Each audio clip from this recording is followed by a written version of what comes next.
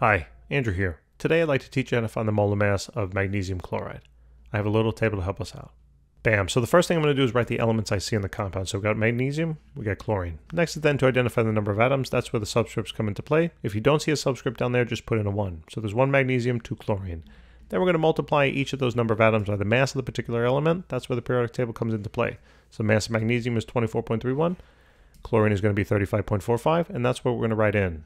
So 24.31 for magnesium, 35.45 for chlorine. And then simply to find the total mass of the element now, you're simply going to multiply the row and across. So the total mass of magnesium is going to be 24.31 units of mass. And then for chlorine here, it's going to be 70.90. And then to find the total mass of the entire compound, simply just add this column up, and it works out to be 95.21.